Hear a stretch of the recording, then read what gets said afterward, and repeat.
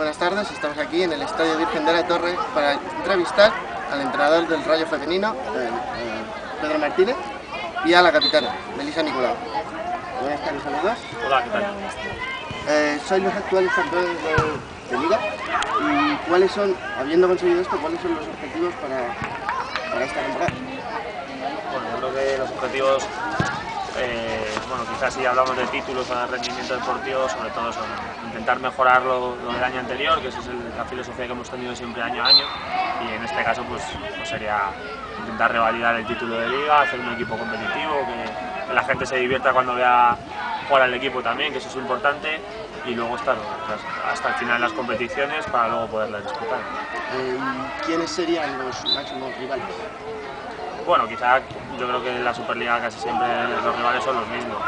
El español, yo creo que este año pues, probablemente también el Barcelona y el Atleti de Bilbao y bueno, algún equipo que sorprenderá por ahí. El Raiza, Atlético de Madrid, ya veremos.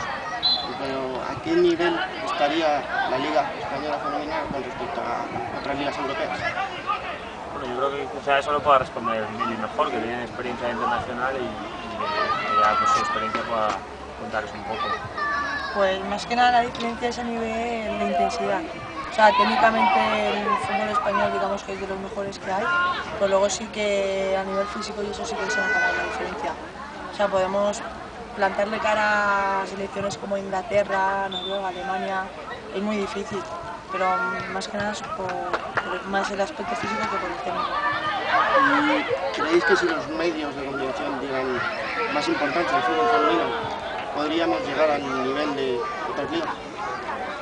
Bueno, yo creo que es un poco todo. Al final los medios de comunicación pueden hacer su parte, nosotros como técnicos podemos hacer la nuestra y, ellas como jugadoras también tienen la obligación de hacer la suya. Y ahí sí que yo creo que, es evidente que hay otros países mejor organizados, otras ligas mejor organizadas, sin, sin desmerecer a la nuestra, que creo que, intentamos en cada parte mejorar, pero sí que yo creo que lo fundamental es eh, que haya al final una liga que sea rentable, que a nivel económico no sea deficitaria, que eso es importantísimo, porque si no nadie apuesta, marcas, patrocinadores, etcétera, que los medios de comunicación se impliquen, sobre todo televisión, que al final es lo que la gente ve, que las jugadoras tengan comportamiento profesional, una mentalidad competitiva, que no es tan fácil y que desde la base las niñas se las va educando para ello, pero quizá en años anteriores ha sido uno de los déficits, y que los técnicos de, nivel también se involucren y que, estén rodeadas de gente que trabaje con ellas y que, las haga mejorar también. Eh, un poco de tema, los fichajes de este año han sido cinco. Han venido tres jugadoras del Atlético de Madrid, que eran del Atlético, una que era del Levante y otra del Español. Eh, ¿Qué se espera? ¿Qué rendimiento se espera de ellos? Bueno, quizá este año era un poco, cada año intentamos dar un- una pequeña vuelta de tuerca un poco al equipo y a, seguir mejorando. Y este año nos tocaba, pues yo creo, dos retos importantes. El primero que era el tema de competir en Europa y hacer un equipo competitivo para el futuro. Eh, quizá eso un poco lo queda reflejado en los fichajes de Sandra, Vilanova y, Adriana y también intentar poco a poco empezar a rejuvenecer una plantilla y airear una plantilla que, es joven a día de hoy, pero que de alguna manera, si no vamos a- tomando los pasitos adecuados poco a poco, nos tocará tomarlos de golpe en el futuro. Entonces, yo creo que es mejor, sobre todo las jugadoras del Atlético de Madrid, tanto Chini como, como Cristina, son apuestas de futuro, como María Galán, que es otra chica que ha venido de, del Torrelodones de Liga Nacional, que es internacional sub-19 en su 17 y, y bueno, es un poco darle ese aire de, a la plantilla tanto de competitividad como de frescura para que podamos seguir avanzando. Y además han llegado jugadores del, han subido del Rayo B. Eh, Es una manera de mostrar a las jugadoras que pueden llegar alguna vez a- al Rayo femenino y conseguir grandes éxitos.